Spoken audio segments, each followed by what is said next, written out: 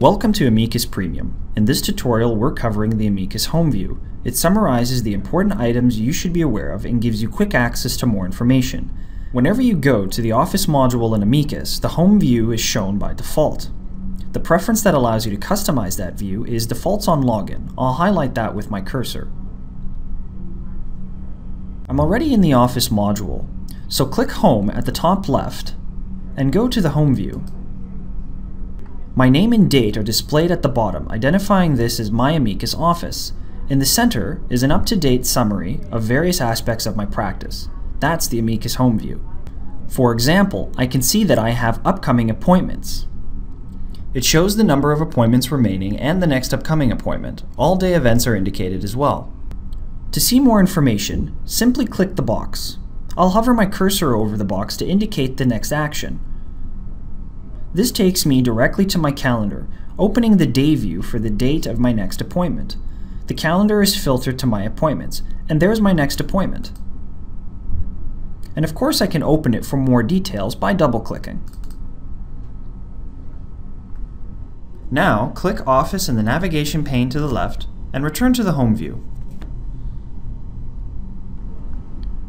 Let's take a look at the other information in the Amicus Home view. I can see how many outstanding phone messages I have, and by clicking the box, it'll take me to the phone messages list in the Communications module.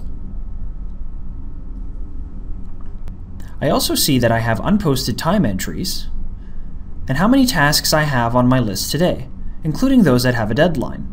Here's an alert that there are recent activities on file that don't yet have a time entry created. Those could be emails, past appointments, documents, and so on. When I click here, the Amicus Time Entry Assistant opens, filter to those items. From here, I can create the necessary time entries, one at a time, or by right-clicking a single item. The Time Entry Assistant is a powerful utility that helps you stay on top of your billable time. You can access it anytime from the Tools menu in any module. Note that you might see other types of information in the view depending on your user type or security rights. Lastly, Amicus Home displays holidays, red letter days, or helpful tips for using Amicus effectively.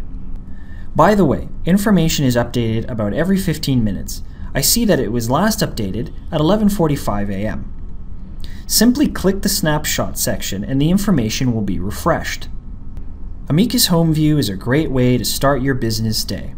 That concludes this tutorial about the Amicus Home View. Thanks for watching and have a great day.